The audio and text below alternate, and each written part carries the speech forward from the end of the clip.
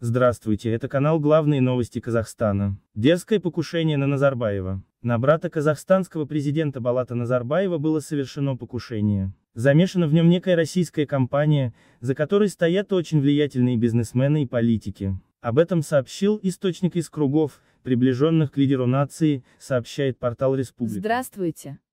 Матрешка – это исконно русский подарок-сувенир.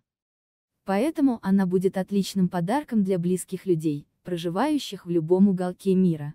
В каждую портретную матрешку мастер нашей студии вкладывают много усилий, стараний и труда, опытная рука мастера воплотит все ваши желания на матрешке по фото. Роспись матрешки на заказ по фото всегда замечательно сочетаются с любым интерьером и прекрасно его дополняют. Такой презент будет напоминать получателю о вашем серьезном подходе к подарку и поднимать настроение окружающих.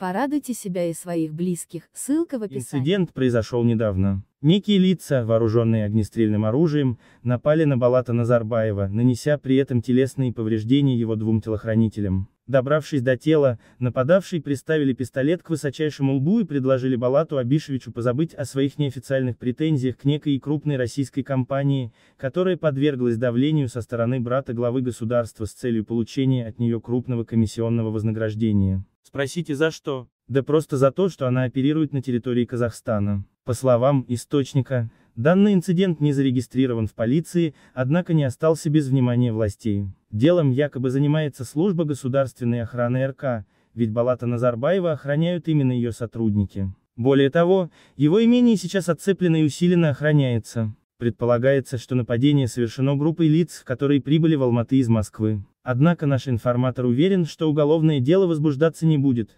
поскольку в рамках расследования могут вылезти крайне неприятные вещи, например, видео и аудиозаписи того, как с российской компанией требовали взятки за покровительство. Нам сообщили название российской компании и имена людей, за ней стоящих. Поэтому мы не сомневаемся, что если данный инцидент перейдет в официальное пространство, то скандал получится не просто громким, а сверхгромким. Более того, этот скандал может сильно навредить президенту Нурсултану Назарбаеву, который изо всех сил пытается зазвать в страну иностранных инвесторов. Что думаете вы по этому поводу? Напишите в комментарии. Также подписывайтесь на канал и ставьте лайки.